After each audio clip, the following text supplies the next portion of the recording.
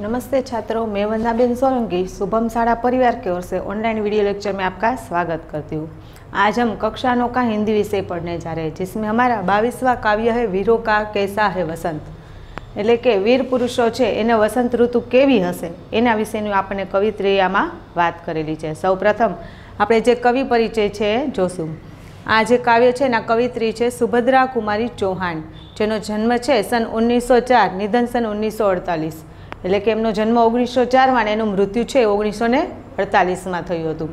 સુભદ્રા કુમારી ચૌહાણ કા જન્મ પ્રયાગ મેં ઠાકુર રામનાથ કે ઘર હુઆ થા. આ જે સુભદ્રા કુમારી છે, એમનો જન્મ છે, એ એમ કે પ્રયાગ જે ગામ છે, ત્યાંના ઠાકુર રામનાથ છે, એના ઘરે થયો હતો. આપકા વિવાહ ખંડવા નિવાસી લક્ષ્મણસિંહ ચૌહાણ કે સાથ સંપન્ન હુઆ. અને એમ કે એમના લગ્ન છે, એ ખંડવાના નિવાસી જે લક્ષ્મણસિંહ ચૌહાણ છે, એમની સાથે થયા હતા. એટલે કે એમના લગ્ન એની સાથે થયા હતા. सन उन्नीस सौ सैंतालीस ईस्वी सन की पंद्रहवीं फरवरी को जबलपुर के समीप एक मोटर दुर्घटना में उनका देहांत हो गया એમ કે ઓગણીસો સુડતાલીસની પંદરમી ફેબ્રુઆરીએ જબલપુર પાસે એક એમ કે દુર્ઘટના બની એમ એક એક્સિડન્ટ થયું એમાં એમ કે એનું મૃત્યુ થઈ જાય છે એ પછી છે મુકુલ વ ત્રિધારા એમ કે કાવ્ય સંગ્રહ. મુકુલ ત્રિધારા, આમ તો એના ઘણા બધા કાવ્ય સંગ્રહો, વાર્તા સંગ્રહો છે. પણ આપણે આમાં જે મુખ્ય મુખ્ય છે એના વિશેની જ થોડી માહિતી જોવાની છે. એટલે કે મુકુલ વ ત્રિધારા છે એ બંને એના કાવ્ય સંગ્રહો છે. સુભદ્રા કુમારી ચૌહાણ કી ભાષા શૈલી સરળ ઓર સુબોધ. એમ કે પોતે જે લખેલા કાવ્ય કે વાર્તા જે કંઈ છે એની અંદર પોતાની ભાષા શૈલી છે. એ એકદમ સરળ છે કે જે કોઈ પણ માણસ છે, સામાન્ય માણસ જે છે, એ પણ એમ કે સરળતાથી એ સમજી શકે છે. એવી એની ભાષા શૈલી છે. પ્રસ્તુત કવિતા વીરો કી સુરવીરતા કો પ્રોત્સાહિત કરતી હોઈ ઉત્તમ કાવ્ય રચના હે. જે આપણને આપેલી જે કવિતા છે, એ એમ કે વીરોની સુરવીરતા છે. આપણા જે દેશ માટે લડાઈ કરેલા, કરી રહેલા જે વીરો છે, વીર પુરુષો છે, એની બહાદુરી છે. એમ કે એને પ્રોત્સાહિત કરતી હોય એવી એક ઉત્તમ કાવ્ય રચના છે. આની અંદર આપણને એમ કે આજુબાજુનું વાતાવરણ છે, એમાં શું ફેરફાર થાય છે, એ બધું કહેવામાં આવ્યું છે કે આજુબાજુ એમ કે આપણા વાતાવરણમાં ઘણા બધા ફેરફારો છે, છતાં પણ જે વીર પુરુષે છે, એને આમાં સેમાય રસ નથી. એને તો માત્ર એના લડાઈમાં, એના યુદ્ધમાં જ એનું ધ્યાન છે અને એના માટે સતત પ્રયત્ન કરતા રહે છે. તો હવે આપણે જે આ આપણું કાવ્ય છે કે વીરો કા કેસા હો વસંત, એટલે કે વીર પુરુષો છે, એની વસંત ઋતુ કેવી હોય છે, એના વિશેનું આપણે આમાં સમજવાનું છે. આપણું જે કાવ્ય છે, કે વીરો કા કેસા હે વસંત, એટલે કે વીરોની વસંત ઋતુ કેવી હશે, એ હવે આપણે સમજતું જવાનું છે, બરાબર? વીરો કા કેસા વસંત, એટલે કે વીરોની વસંત ઋતુ છે, એ કેવી હશે? આ રહી હિમાચલ સે પુકાર, એટલે કે હિમાચલમાંથી અવાજો આવી રહ્યા છે. હે ઉદ્ધિ ગરજતા બાર બાર, ઉદ્ધિ એટલે કે દરિયો, સાગર સાગર છે એ પણ વારંવાર ગજ, ગરજી રહ્યો છે. પ્રાચી પશ્ચિમ ભૂનભ અપાર અને એમ કે તમે પશ્ચિમ, પૂર્વ, આકાશ, પાતાળ બધેથી અવાજો આવી રહ્યા છે, બધા પૂછી રહ્યા છે. સબ પૂછ રહે હે દિગ દિગંત, વીરો કા કેસા હો વસંત? એ બધા એમ પૂછી રહ્યા છે. એમ કે આકાશ, ધરતી, બધી દિશાઓ, દરિયો, સાગર, બધા એમ પૂછી રહ્યા છે કે આ વીરલો, વીરો છે એટલે કે જે યોદ્ધાઓ છે એની વસંત ઋતુ કેવી હશે? ફૂલી, સરસોની દિયા રંગ એમ કે સરસોના ફૂલ ખીલ્યા છે, એના કારણે બધી જ બાજુ પીળું વાતાવરણ છવાઈ ગયું છે. સરસોના ફૂલ છે એ પીળા રંગના હોય, એના કારણે બધી જ બાજુ પીળું વાતાવરણ છવાઈ ગયું છે. મધુ લેકર આ પહોંચાનંગ અને એમ કે મદિરાલય અને જે આવી રહ્યા છે. બધું વસુધા પુલકિત અંકંગ. અને જાણે ધરતી છે, એ નવી એમ કે પરણિતા હોય, નવી વહુ હોય, એના જેવું પોતે સ્વરૂપ ધારણ કરી લીધેલું છે. એટલે કે સરસ મજાની ધરતી છે, એ સજી ધજીને બેઠી હોય એવું લાગી રહ્યું છે. હે વીર વેશમે કિંતુ કંદ, પરંતુ એમ કે આ કોઈ પણ વાતાવરણના, આ અદ્ભુત વાતાવરણ છે, એમાં ક્યાંય પણ આ વીર પુરુષ છે, એને રસ નથી. એને આમાં ક્યાંય પણ રસ નથી. એને આમાં શેને જોવા માટે પણ એ તૈયાર નથી. વીરો કા કેસાઓ વસંત. એમ કે આ વીર લોકો છે, એની વસંત ઋતુ કેવી હશે? એમ કે આજુબાજુ આટલું સરસ વાતાવરણ છવાયેલું છે, છતાં પણ એને આમાં કંઈ રસ નથી. તો આ વીર લોકો છે, તો એનું વસંત ઋતુ કેવી હશે? ભર રહી કોકિલા ઈધરતાન એમ કે અહીંયા તો કોયલ છે, એ પોતાની કુકુ એટલે કે પોતાના ટહુકાથી આજુબાજુનું વાતાવરણ છે એ ભરી રહી છે આજુબાજુનું વાતાવરણ એમ કે સંગીત પ્રિય બનાવી રહી છે.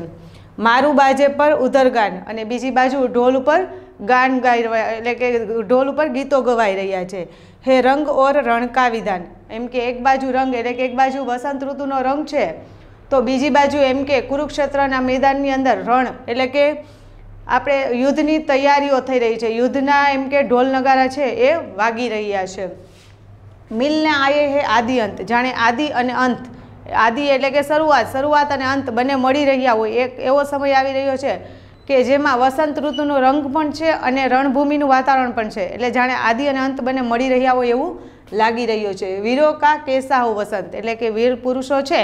એની વસંત ઋતુ કેવી હશે? એવું આપણને કવિત્રી આમાં પૂછી રહ્યા છે. કહ દે અતીત અબ મૌન ત્યાગ. એમ કે છે કે અતીત આપણે જે ભૂતકાળનું જે છે, એમ કે છે કે હવે તમે પણ તમારા મૌન ત્યાગીને, તમે જે તમારે મૂંગા બેઠા છો, તમે તમારી જે એમ કે ભાષા ચૂપ રાખીને બેઠા છો, એને હવે તમે છોડી દો અને તમે જે કંઈ પણ છે એ વીર પુરુષોના વસંત વિશે વાત કરી દો લંકે તુજમે ક્યો લગી આગ? એમ કે લંકાને એમ કે છે કે તારામાં આગ શું કામ લાગી? એમ કે હવે તું કહી દે, આ જે વીર પુરુષો છે એની સમક્ષ તું હવે વાત કરી દે. એ કુરુક્ષેત્ર અબ જાગ જાગ. એમ કે રણના મેદાનમાં ઊભેલા વ્યક્તિ, હવે તમે જાગો. એમ કે લંકામાં આગ શું કામ લાગી?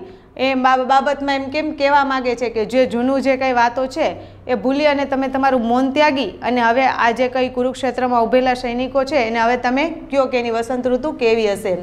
બદલા આપને અનુભવ અનંત. એમ કે તમે તમારા જે કંઈ પણ અનુભવ છે તમને એમ કે આ કુરુક્ષેત્રના મેદાનમાં, આ જીવનમાં જે કંઈ પણ અનુભવ થયા છે, એ હવે તમે કહી દો બીજાને જણાવો. વીરો કા કેસા હો વસંત? આ વીર લોકો છે, એની વસંત ઋતુ છે, એ કેવી હશે? એના વિશે હવે તમે માહિતી આપો. હવે આપણને એમ કીધું, હલ્દી ઘાટી કે શિલાખંડ? એટલે કે હલ્દી ઘાટીના જે મોટા મોટા પથ્થરો છે એ એ દુર્ગ સિંહગઢ કે પ્રચંડ? એમ કે સિંહગઢના જે કિલ્લાઓ છે, એને કહેવામાં આવે છે કે તમે પ્રચંડ અવાજમાં રાણા તાનાકા કર ઘમંડ એમ કે રાણા પ્રતાપ અને જે તાનાજી છે, એના ઘમંડ, એમ કે એની જે બહાદુરીની વાતો છે, એ ઘમંડ સાથે વર્ણવો. તમે એની જે વાતો છે, એ બીજાને તમે તમારા ઘમંડ સાથે કહો. એટલે કે તમે એમ કે પોતે માન સાથે એ વાતોને કહો. દો જગા આજ સ્મૃતિયા જ્વલંત, વીરો કા કેસા હો વસંત. એમ કે બંને જગ્યાએ આજે સ્મૃતિઓ, એટલે કે યાદો છે એ જ્વલત થઈ રહી છે, તાજી થઈ રહી છે. આ એમ કે વસંત ઋતુ છે, વીરોની વસંત ઋતુ છે, એ કેવી છે? ભૂષણ અથવા કવિ ચંદ નહીં એટલે કે કવિ ભૂષણ અને જે ચંદ છે, એના જેવા એમ કે અત્યારે કોઈ એવા કવિઓ પણ નથી રહ્યા કે જે જેના શબ્દોથી બીજું વર્ણવી શકે. બિજલી ભર દે વહ છંદ નહીં અને માણસની અંદર એમ કે વીજળી વીજળી જેવો જે કહીએ કે જે ભાવ ભરી દે, વીજળી જેવો એક ચમત્કાર ભરી દે, એવા કોઈ અત્યારના છંદ પણ નથી રહ્યા. પહેલાંના સમયમાં એવું બનતું કે એવા છંદને બોલવામાં આવતા, દુહાને છંદ ગાવામાં આવતા, જેના કારણે માણસની અંદર એક અલગ એવી શક્તિ આવતી. એવા છંદ પણ અત્યારે રહ્યા નથી. હે કલમ બંધી સ્વચ્છંદ નહીં. અત્યારની એમ કે કલમ છે, લખવાવાળાની પોતાની પેન છે, એ પણ અત્યારે સ્વચ્છંદી. પોતે ધારે લખી નથી શકતા, એ પણ બંધનમાં બંધાયેલા છે. એને જરૂર પૂરતું જ અમુક જ વસ્તુ લખી લખી શકે છે. બાકીની વધારાની વાત એ કોઈ લખી પણ નથી શકતા એમ કે. ફિર અમે બતાવે કોણ હંત? એમ કે તો હવે અમને કોણ બતાવશે કે વીરો કા કેસા હે વસંત? આ વીર પુરુષો છે, એની વસંત ઋતુ છે, એ કેવી છે? એ અમને કોણ બતાવશે? એટલે કે આપણે આ કાવ્યમાં જોયું કે વીરોની, એટલે એમ કે વીર પુરુષો છે, એને વસંત ઋતુ, એને જો આજુબાજુના કે વાતાવરણમાં કે એમાં સેમાય રસ નથી, આપણા માટે તો વસંત ઋતુ એટલે શું? કુદરતી સરસ મજાનું વાતાવરણ, આજુબાજુ એમ કે ખીલેલા ફૂલો, પક્ષીઓનો કલરવ, એવું બધું હોય છે. જ્યારે આ વીર પુરુષો માટે તો એ શેનું મહત્ત્વ નથી. અને આપણે જોઈએ છે તો પહેલાંના સમય જેવા વીર પુરુષો અત્યારે રહ્યા પણ નથી. તો આપણને જે આગળનું, આપણે જે ભૂતકાળની અંદર જે થઈ ગયેલા મહાન મહાન જે આપણે કીધેલું આમાં કે તાનાજી છે, રાણા મહારાણા પ્રતાપ છે, એ બધાના જીવનમાંથી આપણને ઘણું બધું શીખવા મળે. તો એમ કે છે કે તમે લોકો અમને કહો કે આ વીર પુરુષો છે, એની વસંત ઋતુ કેવી હોય? કારણ કે અત્યારના માણસોને તો બાકી એના સિવાય કંઈ ખબર પણ નહીં રહે. અથવા તો આપણે જોઈએ કે અત્યારના બાળકો છે, એને આ જે વીરતા છે, એનો અનુભવ પણ ક્યારેય નહીં થઈ શકે. કારણ કે અત્યારનું આપણે જે છેલ્લે કવિએ કીધું કે અત્યારની કલમ છે, પેન છે પણ એમ કે અમુક નિયમોમાં બંધાયેલી છે. એ પોતે પણ પોતાના શબ્દો લખી શકતી નથી. માટે એમ કે અમને હવે કહેનાર કોણ છે? અમને જાણ કરનાર કોણ છે કે આ વીર પુરુષો છે ને વસંત કેવી હશે? તો એવું સરસ મજાનું આ કાવ્ય છે, વીર પુરુષોને લગતું એ આપણને કવિત્રીએ અહીંયા રજૂ કરેલું છે. Thank you